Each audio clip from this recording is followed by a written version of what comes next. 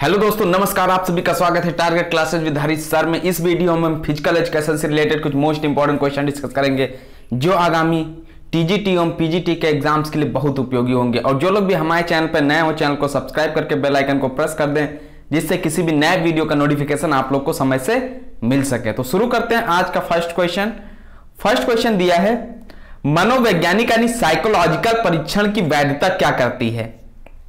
जो साइकोलॉजिकल परीक्षण है, उसकी वैधता क्या करती है? परीक्षण मापता निश्चित पूर्व निर्धारित मूल्यों को। परीक्षण मापता कुछ कुछ अनुकूलित।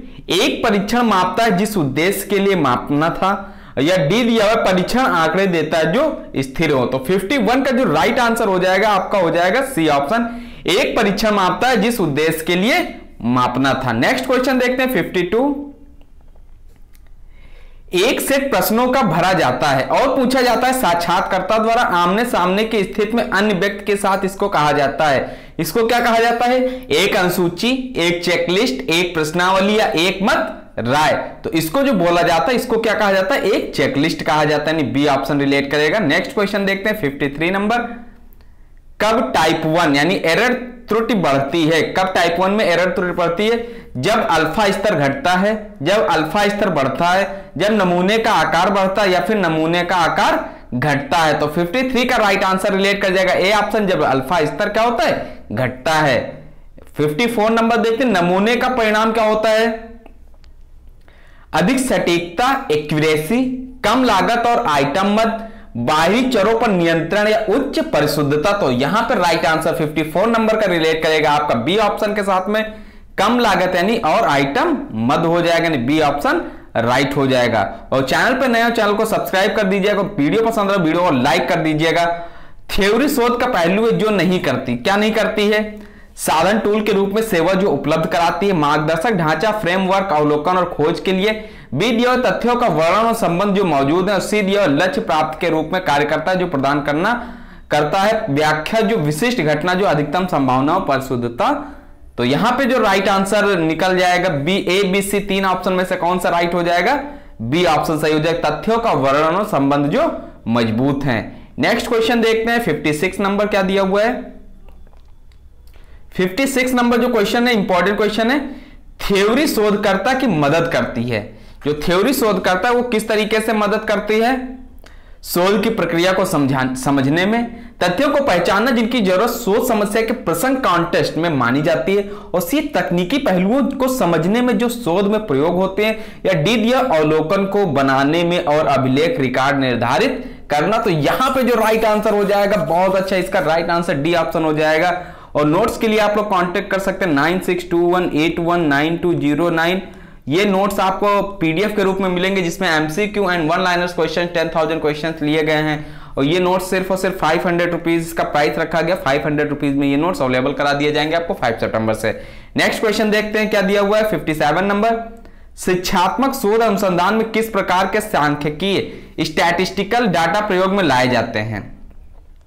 वर्णात्मक सांख्यिकीय विश्लेषण, आनुमानिक सांख्यिकीय विश्लेषण, ए और बी दोनों या उपरोक्त, कोई भी नहीं तो 57 का राइट आंसर हो जाएगा आपका यहाँ पे सी ऑप्शन वर्णात्मक सांख्यिकीय विश्लेषण और आनुमानिक सांख्यिकीय विश्लेषण, यानी कि सी ऑप्शन सही हो जाएगा। नेक्स्ट क्वेश्चन देखते हैं। कौन से परीक्षणों का प्रयोग किया जाता है? परिणामों की व्याख्या में, यानी कौन से परीक्षण है जिनका प्रयोग किया जाता है, जो परिणाम आते हैं उनकी व्याख्या में। पैरामीट्रिक परीक्षण, गैर पैरामीट्रिक परीक्षण, ए, बी, दोनों या कोई भी नहीं तो यहाँ पे राइट आंसर 58 का जो चला जाएगा आपका, पैरामीट्रिक परीक्षण हो जाएगा और गैर पैरामीट्रिक परीक्षण राइट आंसर हो जाएगा आपका सी ऑप्शन ए और बी दोनों।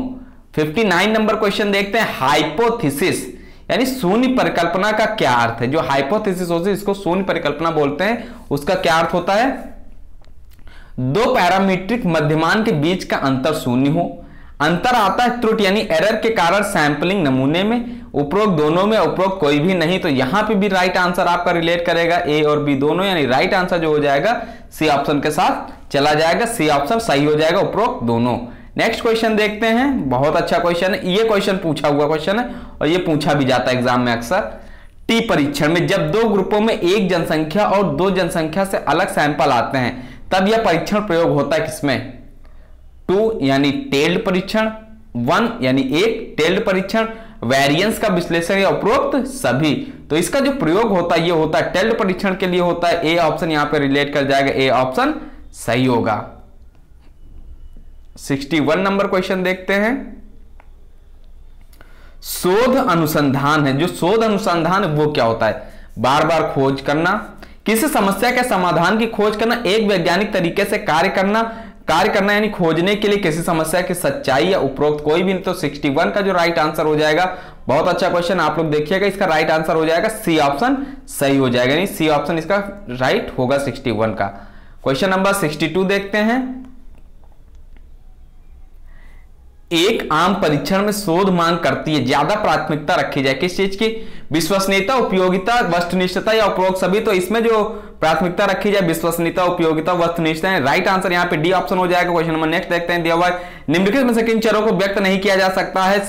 सकता है मात्रात्मक पहलू में। जो मात्रात्मक पहलू होते हैं, इसमें किसको व्यक्त नहीं किया जा सामाजिक, आर्थिक अवस्था यानी हालत को व्यवहारिक अवस्था, संख्यात्मक योग्यता या व्यावसायिक रवैया। तो 63 जो रिलेट कर जाएगा, आपका सी ऑप्शन हो जाएगा, संख्यात्मक योग्यता हो जाएगा यहाँ पे राइट आंसर नेक्स्ट क्वेश्चन देखते हैं। अनुसंधानकर्ता के आवश्यक गुण होते हैं। निःशुल्क जाँच का उत्साह यानी जोश, अवलोकन, निरीक्षण और सबूत पर भरोसा, ज्ञान का व्यवस्थापन या अनुमान लगाना या उपरोक्त सभी तो 64 यहाँ पे राइट आंसर हो जाएगा ए बी सी यानी उपरोक्त सभी के साथ में चला जाएगा। और जिसने भी इसके पहले की वीडियोज़ नहीं देखी सारी वीडियोज़ का लिंक प्लेलिस्ट में दिया हुआ है, वहाँ से आप लोग देख सकते हैं। साथ में डिस्क्रिप्शन में भी लिंक दे दिया जाएगा, वहाँ से भी आप लोग देख लीजिएगा। और चैनल पर नए, चैनल को सब्सक्राइब कर दीजिएगा और साथ में वीडियो पसंद वीडियो को लाइक कर दीजिएगा। Nine six two one eight one nine two zero nine, ये व्हाट्सएप नंबर जिसको भी फ़िज़िकल एजुकेशन के ग्रुप से ऐड होना तो इस पर मैसेज कर देगा।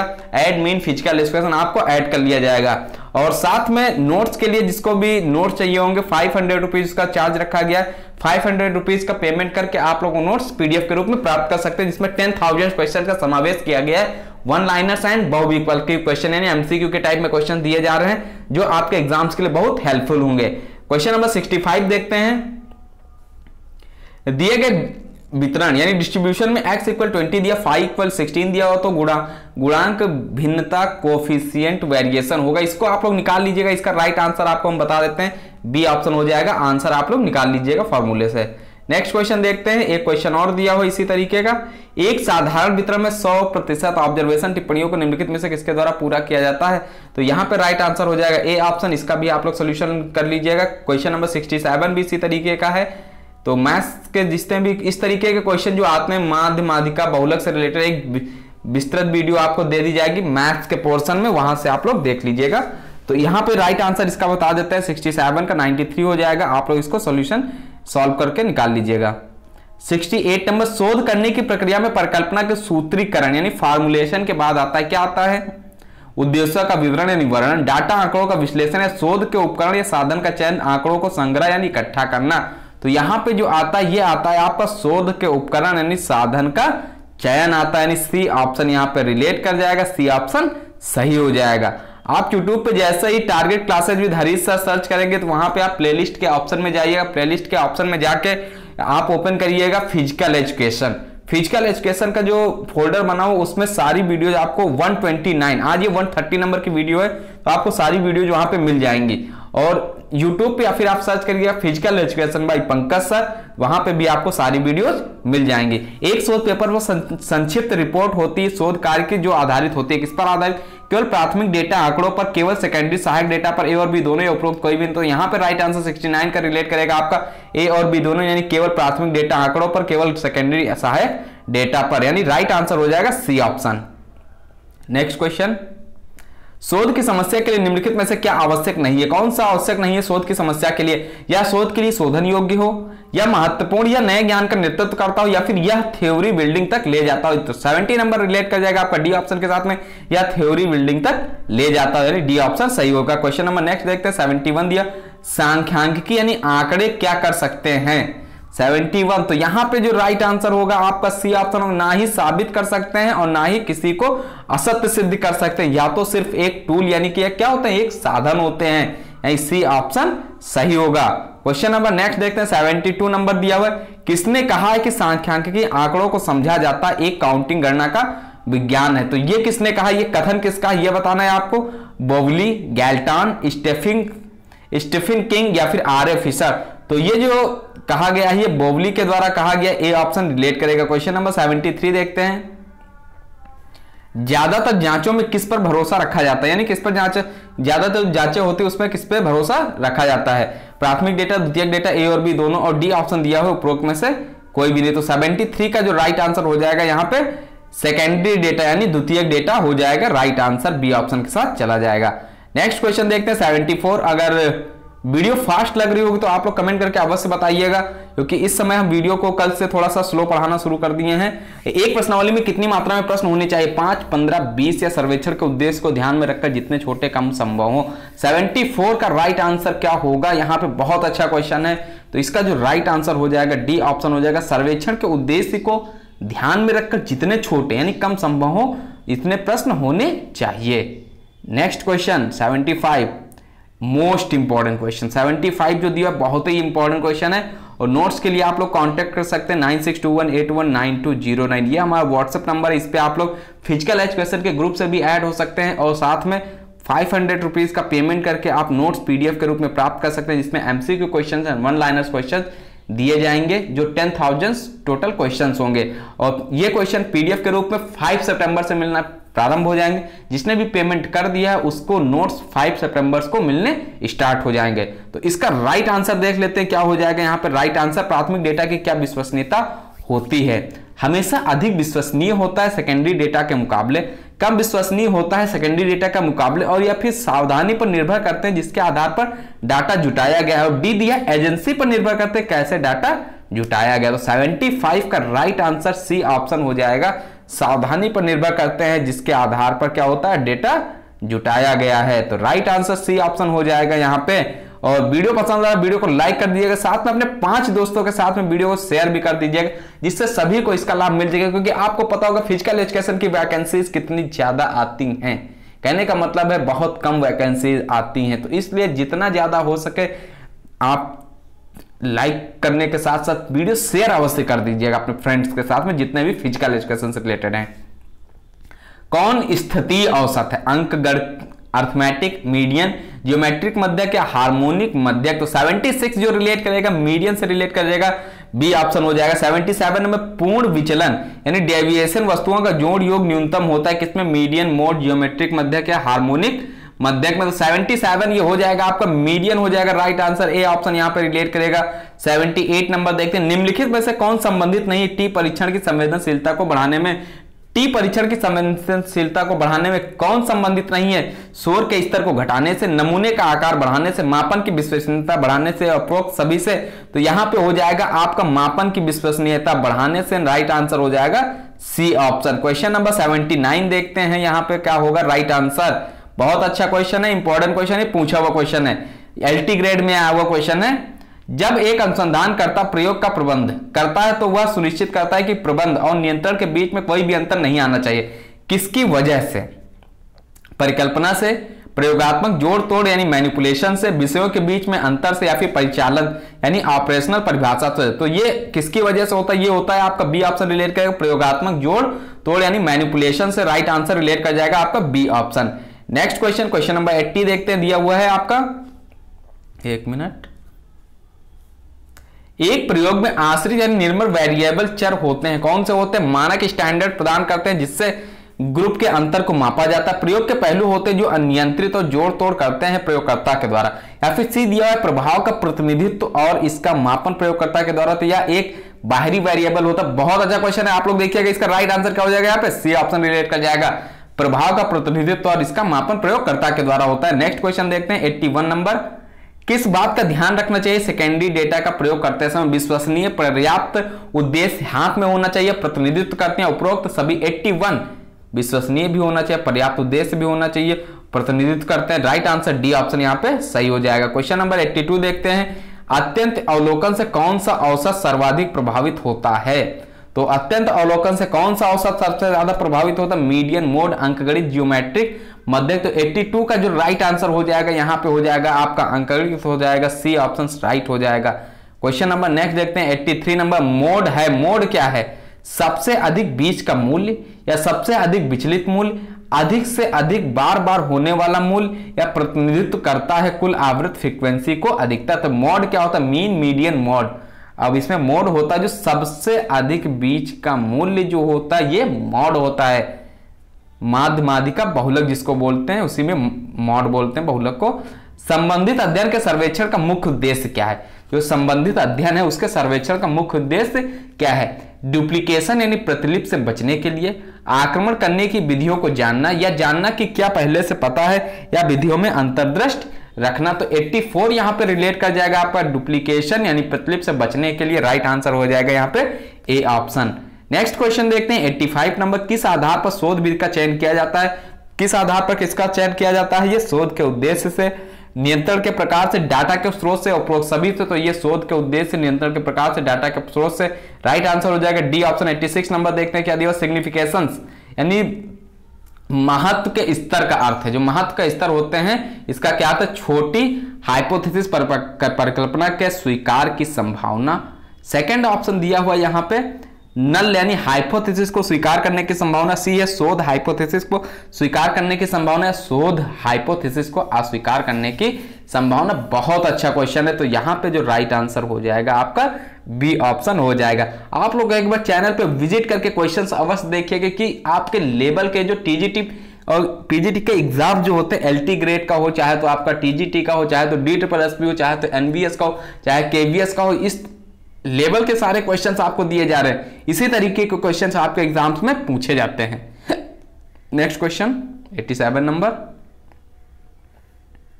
एक नमूना यानी सैंपल किसका प्रतिनिधित्व करता है किसका प्रतिनिधित्व करता है? दर्शक, भीड़, जनसंख्या उपरोक्त कोई भी नहीं तो तो ये जो प्रतिनिधित्व करता है किसका करता है? ये जनसंख्या का करता है। राइट आंसर हो जाएगा सी ऑप्शन 88 नमूना प्रक्रिया की क्या हानि होती है?